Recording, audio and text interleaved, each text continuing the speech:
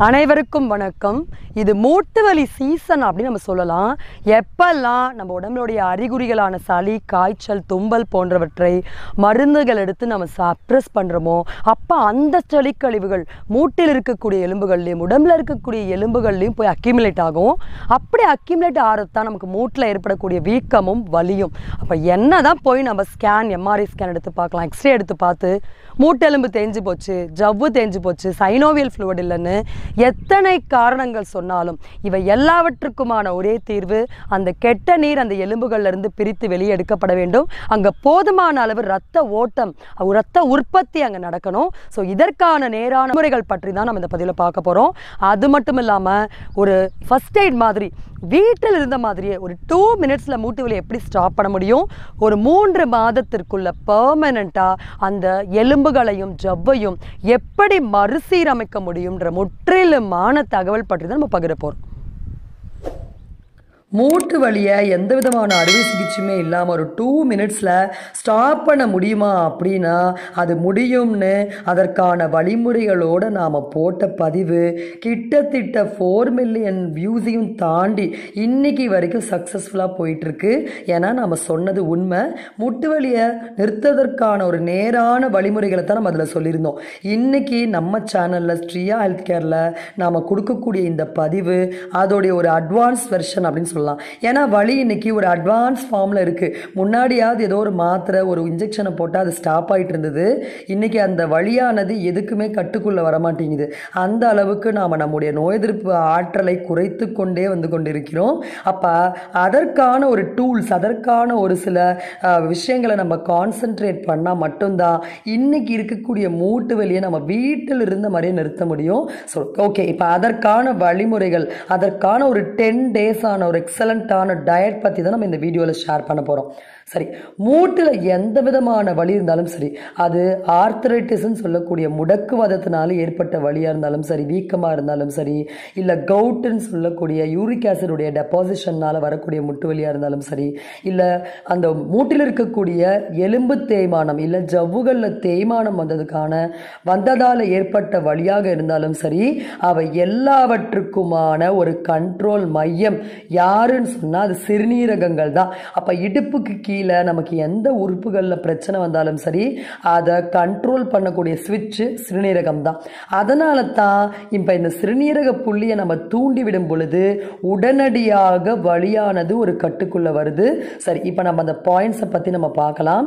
இப்போ நம்ம காட்டக்கூடிய இந்த பாயிண்ட் தான் சிறுநீரகத்திற்கான புள்ளி கிட்னி பாயிண்ட் இந்த பாயிண்டில் அழுத்தி ஒரு டூ மினிட்ஸ் நம்ம ப்ரெஷர் கொடுக்கணும் ஃபஸ்ட்டு நம்ம அழுத்தும் போது முட்டியில் இருந்த வலி அப்படியே கொஞ்சம் கொஞ்சமாக கிராஜுவலாக அப்படியே கம்மியாகும். அது வரைக்கும் நம்ம இந்த பாயிண்டில் விட்டு விட்டு விட்டு ப்ரெஷர் கொடுக்கணும். ப்ரெஷர் கொடுக்கறதுக்கு நாம் நம்ம காட்டுற மாதிரி இந்த ஸ்டிக்கு எல்லா இடத்துலையும் கிடைக்கும். கிடைக்கலனா அர்ஜென்ட்டுக்கு நீங்கள் ஏர்பினோட பேக் சைடை வச்சு நீங்கள் யூஸ் பண்ணலாம். ஸோ இந்த ப்ரெஷரை கொடுத்து முடிச்சோன்னே கண்டிப்பாக அப்போதைக்கு வலி வந்து ரிலீஃப் ஆகிடும் பர்மனெண்ட்டாக எனக்கு வலி ரிலீஃப் ஆகணும் அப்படின்னா நாம் ஒரு சில விஷயங்களை அடிஷ்னலாக கான்சென்ட்ரேட் பண்ணணும். ஸோ ஓகே அது பார்க்குறதுக்கு முன்னாடி இன்னும் இந்த முட்டு வலியை நல்லா கம்மி பண்ணுறதுக்கான இன்னும் ஒரு சில பாயிண்ட்ஸ் பற்றி பார்க்கலாம். அடுத்த பாயிண்ட்ஸ் இப்போ நம்ம காட்ட போகிற மாதிரி இந்த மெட்டி போடுற விரலில் இருக்கக்கூடிய பாயிண்ட்ஸ் இப்போ சில பேருக்கு முட்டியில் பார்த்தீங்கன்னா லெஃப்ட் சைடில் வலி இருக்கும் சில பேருக்கு ரைட் சைடில் வலி இருக்கும் சில பேருக்கு அந்த முட்டி கப்புக்கு மேலே வலி இருக்கும் சில பேருக்கு அடியில் வலி இருக்கும். இந்த விரலில் சென்டர் பாயிண்ட்டை ப்ரெஸ் பண்ணணும். லெஃப்ட் சைடில் வலி இருந்தால் லெஃப்ட் சைடில் ப்ரெஸ் பண்ணணும். ரைட் சைடில் வலி இருந்தால் ரைட் சைடில் ப்ரெஸ் பண்ணணும். முட்டிக்கு மேலே வலி இருந்தால் இப்போ நம்ம காட்டுற மாதிரி இந்த விரலுடைய மேல் பகுதியில் அழுத்தி ப்ரெஸ் பண்ணணும். அதே மாதிரி முட்டியுடைய அடிப்பகுதியில் வலிக்குது.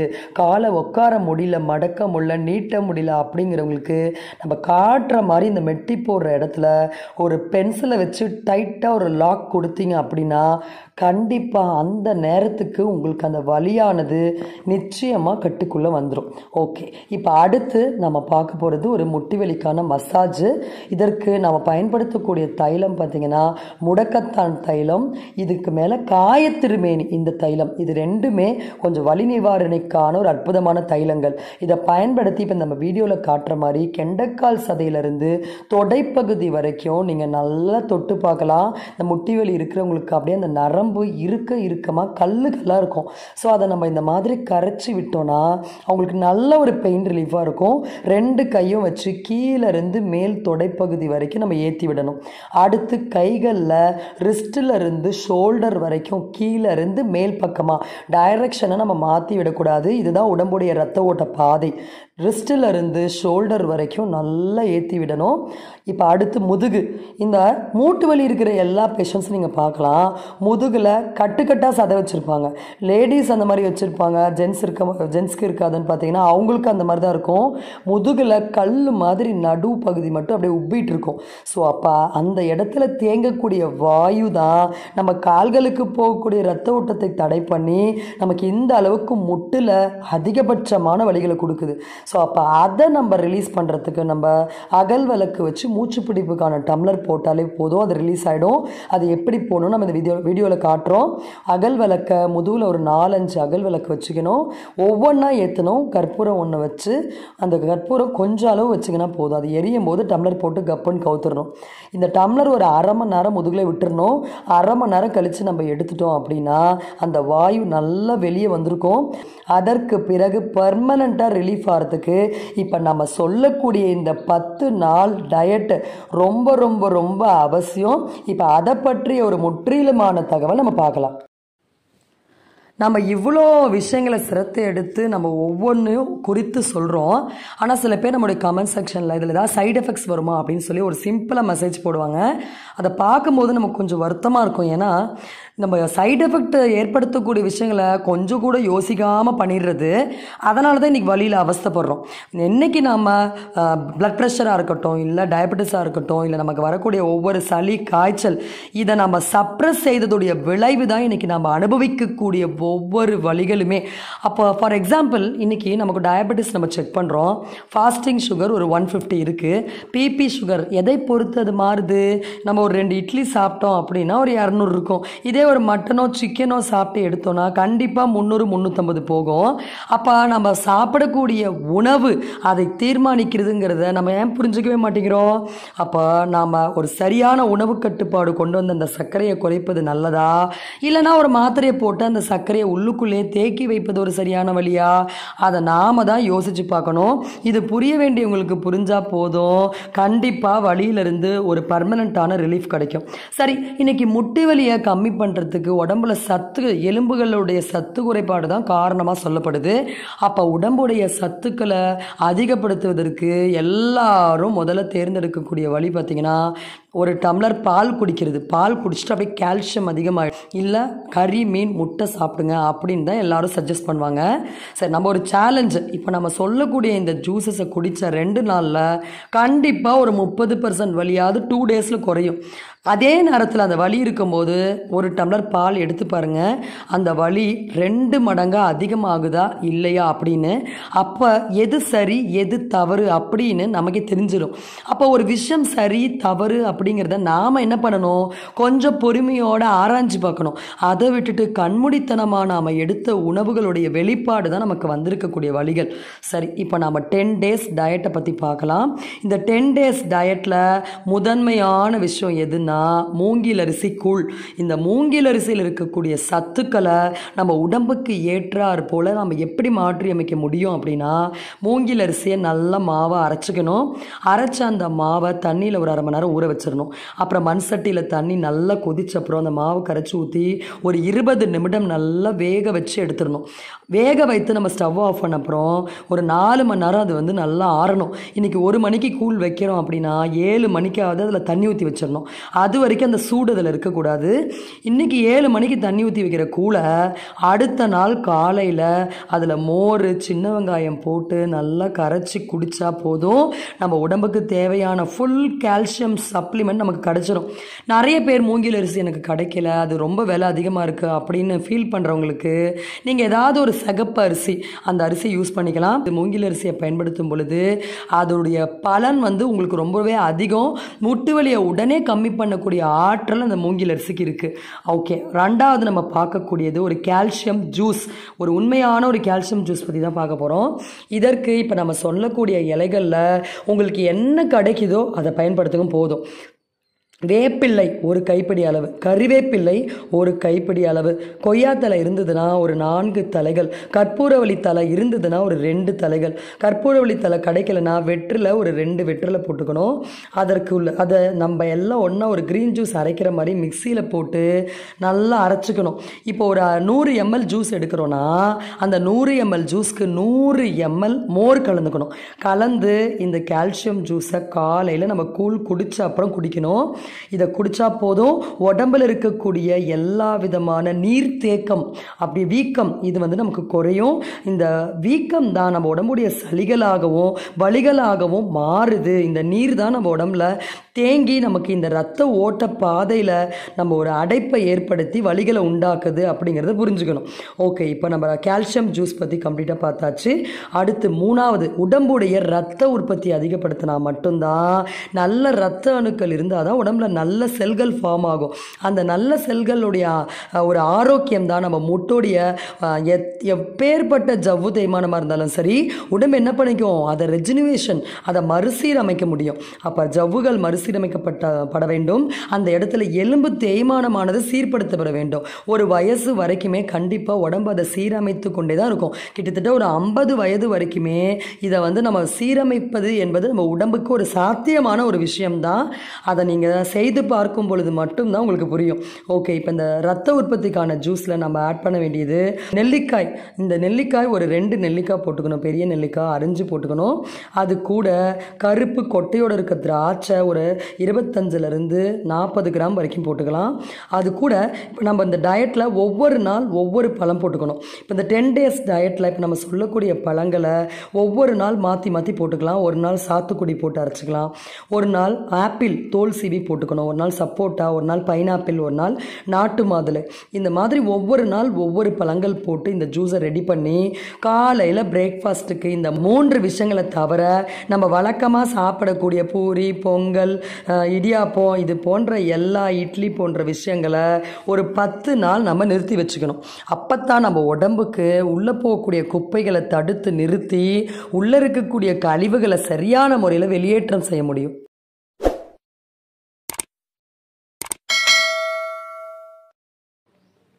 இப்போ நம்ம மதிய உணவு பற்றி பார்க்கலாம். எப்படி அடுப்பு பற்ற வைக்காமல் சமைக்க முடியாதோ அது போல் ஜீரண ஆற்றல் அதிகப்படுத்தாமல் ஒரு உணவு சரியாக செரிமானம் ஆகாது. செரிமான மந்தமே உடலில் ஏற்படக்கூடிய எல்லா விதமான வலிகள் மற்றும் நோய்கள் அப்படின்றது நமக்கு கொஞ்சமாவது புரியணும். சரி ஓகே. மத்தியானம் நம்ம ஏற்கனவே மூங்கில் அரிசிக்குள் கூழ் மிச்சம் கொஞ்சம் வச்சுருப்போம். அதை காலையில் என்ன பண்ணிடணும்? தண்ணி ப பழைய தண்ணியை எடுத்துட்டு புது தண்ணி ஊற்றி வச்சிடணும். ரொம்ப புளிச்சா அது நம்ம உடம்புக்கு ஆகாது. ஸோ அப்போ அந்த கூலை ஃபஸ்ட்டு குடிச்சிடணும். அப்புறம் ஐம்பது கிராம் ஜீரகம் ஐம்பது கிராம் ஓமம். இதை பொடி பண்ணி ஒரு டப்பாவில் போட்டு வச்சுக்கணும். இதை தண்ணியில் போட்டு நல்லா கொதிக்க வச்சு வடிகட்டி குடிச்சிடணும். இதை குடித்த ஒரு பத்து நிமிஷத்தில் கப கப கபன்னு நமக்கு பசிக்கும். அப்படி பசிக்கும் போது நாம் ஒரு கப்பு பழைய சாதம் ஒரு கப்பு காய்கறி எடுத்துக்கணும். முட்டி வலி அதிகமாக இருக்கும்போது சுடுசாதம் சாப்பிட்டா கண்டிப்பாக இன்னும் வலி அதிகமாகும். அதுவும் பச்சரிசி பருப்பு எடுத்துக்கிட்டா வலி ரெட்டிப்பாகும். சரி இப்போ நம்ம சொல்லக்கூடிய காய்கறிகளை தவிர வேறு காய்கறிகளை பயன்படுத்தக்கூடாது. எப்படி வாழைக்காய் உருளைக்கிழங்கு எடுத்தால் முட்டியில் குத்துமோ அது போல தான் கேரட் பீட்ரூட் பீன்ஸு முட்டைகோஸ் காலிஃப்ளவர் எல்லாம் ஸோ அப்போ நம்ம சொல்லக்கூடிய காய்கறிகள் கோவக்காய் பாவக்காய் அவரைக்காய் முள்ளங்கி பீக்கங்காய் சுரக்காய் வெள்ளை பூசணிக்காய் புடலங்காய் பசலைக்கீரை வாழைத்தண்டு. இந்த காய்கறிகளை நம்ம தேங்காய் எண்ணெய் நல்லெண்ணெய் போட்டு ஸ்டீம் குக் பண்ணாலும் சரி இல்லை வழக்கம் போல் பொரியல் பண்ணி மத்தியானத்துக்கு சாப்பிட்டுக்கணும். இதை சாப்பிட்டும் எனக்கு பசிக்குது. அப்படின்னா மட்டும்தான் சாப்பாடு சாப்பிடணும். புழுங்கலரிசியில் செஞ்ச லெமன் சாதம் மிளகு சாதம் கருவேப்பிலை சாதம் ரசம் சாதம் போன்ற செரிமானத்தை எளிமைப்படுத்தக்கூடிய உணவுகள் தான் எடுக்கணும். அதுவும் வலி இருக்கும்போது கண்டிப்பாக நம்ம சாப்பிடக்கூடாது. வலி இல்லை எனக்கு ரொம்ப பசிக்குதுன்னா மட்டும்தான் இந்த மாதிரி ரைஸ் மத்தியானம் கன்சியூம் பண்ணணும். ஓகே இப்போ நம்ம நைட்டு சாப்பிடக்கூடிய உணவு பற்றி பார்க்கலாம். சூரிய அஸ்தமனத்துக்கு அப்புறம் நமக்கு ஜீரண ஆற்றலே இருக்காது. அதுக்காக நம்ம சாப்பிடாமே விட முடியாது. ஏன்னா அங்கே உடம்புல எனர்ஜி தேவைப்படுது. அப்போ நம்ம திணையரிசியில் செய்த பழைய சாதம் காலையிலே திணையரிசியை வேக வச்சு பானையில் போட்டு தண்ணி ஊற்றி வச்சுக்கணும். அந்த பழைய சாதம் மத்தியா நைட்டுக்கு ஒரு கப்பு எடுத்துக்கணும். அது கூட ஒரு சூப்பு நல்லா செரிமானம் ஆகிற மாதிரி புதினா கறி கறிவேப்பிலை கொத்தமல்லி இதெல்லாம் போட்டு ஒரு சூப் செஞ்சு வச்சுட்டு இது ரெண்டு தான் நம்ம நைட்டு சாப்பிட்ணும். அப்படி எனக்கு கண்டிப்பாக இட்லி தோசை சாப்பிட்ணும் அப்படின்னா அஞ்சு மணிக்கெல்லாம் ஒரு ரெண்டு மூணு இட்லி கறிவேப்பிலை சட்னி கொத்தமல்லி வச்சு சட்னி வச்சு டிஃபனை முடிச்சிடணும். ஏழு மணி எட்டு மணிக்கு டிஃபன் சாப்பிட்டா கண்டிப்பாக கேஸ் ஃபார்மேஷன் இருக்கும். அப்போ வலிகள் நமக்கு அதிகமாகிடும் சரி ஓகே இப்போ இது கூட நிறைய பேருக்கு இருக்கிற டவுட்டு சுகர் பேஷண்ட் சாப்பிட்லாமா? வீசிங் இருக்க பேஷண்ட் சாப்பிட்லாமா? ஆர்த்ரட்டிஸ் பேஷண்ட் சாப்பிட்லாமா? அப்படின்னா இப்போ நம்ம சொன்ன உணவுகள் எல்லா பேஷண்ட்டுமே சாப்பிட்லாம். எல்லா நோய்களுக்குமான காரணம் நம்ம உடம்புல தேங்கி இருக்கக்கூடிய சளிகள் தான். அப்போ கூழ் பழைய சாதம் எடுக்கும் பொழுது சளிகள் உடம்புல இருந்து நெஞ்சில் தேங்கி போன காய்ந்து போன சளிகள் கரையும். அது கூட இப்போ நம்ம சொல்லக்கூடிய இந்த மருந்துகளை ஹெர்பல் மருந்துகளை எடுத்துக்கொள்ளும் போது அந்த சளி மூக்கு வழியாக தொண்டை வழியாக வெளியேறாமல் மோஷன் வழியாக மலமாக வெளியேறிடும். நிறைய பேருக்கு மோஷன் சிக்னஸ் இருக்கிறது தான் மூட்டு வலின்னு தெரியாமையே அவங்க மருத்துவம் பார்த்து கொண்டு இருப்பாங்க சரி இப்போ இந்த மலத்தை இழக்கக்கூடிய சளிகளை கரைக்கக்கூடிய மருந்துகள் பற்றி பார்க்கலாம். முடக்கத்தான் லேகியம். முடக்கத்தான் கீரை மூட்டு வலியை குறைக்கிறதுக்கான காரணம் முடக்கத்தான் கீரை சளியை குறைக்குது. அதனால தான் முடக்கத்தான் கஷாயம் குடிச்சா மூட்டு வலி குறையுது. ஸோ அப்போ அதை நம்ம லேகியம் வா மாதிரி வாங்கிட்டு தினமும் மூன்று வேளை வரைக்கும் ஒரு நெல்லிக்காய் அளவு உணவுக்கு முன்னாடி சாப்பிடணும். அடுத்து கண்டங்கத்திரி லேகியம். இது ஒரு நாளைக்கு ரெண்டுலேருந்து மூன்று வேளை ஒரு நெல்லிக்காய் அளவு சாப்பிட்டாலே போதும். மோஷன் ஃப்ரீயாக இருக்கும். இதையும் தாண்டி மலச்சிக்கல் பிரச்சனை இருக்கிறவங்களுக்காக நம்முடைய நம்ம கான்ஸ்டிபேஷன் வீடியோவில் நிலவாகை லேகியம் எப்படி செய்யணும்னு சொல்லியிருக்கோம். அந்த லேகியத்தை சாப்பிட்டா கண்டிப்பாக ஒரு நாளைக்கு ரெண்டு மூணு வேளை மோஷன் ஃப்ரீயாக போயிடும்.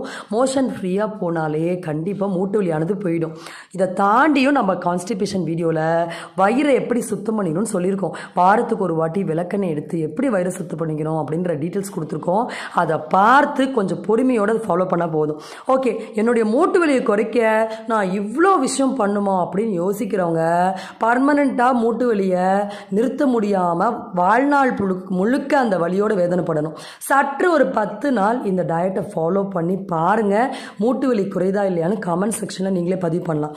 அதை தாண்டி ஒரு மூன்று மாதம் வரைக்கும் ஃபாலோ பண்ணுறவங்க தாராளமாக ஃபாலோ பண்ணலாம். இல்லை விட்டு விட்டு ஃபாலோ பண்ணுறவங்க விட்டு விட்டு கூட ஃபாலோ பண்ணலாம். அட்லீஸ்ட் எந்த அளவு வலி குறையணும்னு ஆசைப்படுறவங்க அந்த அளவுக்கு ஃபாலோ பண்ணால் போதும். ஓகே இப்போ நம்ம கொ- கொடுத்த தகவல் கண்டிப்பாக எல்லாருக்கும் பயனுள்ள தகவலாக இருக்கும் அப்படின்னு நான் நம்புகிறேன் இதையும் தாண்டி உங்களுக்கு நம்ம சப்போர்ட் தேவைப்பட்டா நம்ம WhatsApp number nine six double seven four double zero nine five six இந்த நம்பருக்கு உங்களை பற்றி தகவல் அனுப்புங்க. உங்களுக்கான வீட்டில் இருந்தே ஃபாலோ பண்ணுறதுக்கான ட்ரீட்மெண்ட் கைட்லைன்ஸ் நம்மளோட எக்ஸ்பீரியன்ஸை நம்ம ஷேர் பண்ண நம்ம தயாராக இருக்கோம். இந்த வாய்ப்பை கொடுத்த இறைவனுக்கு நன்றி கூறி விடைபெறுகிறேன். வணக்கம்.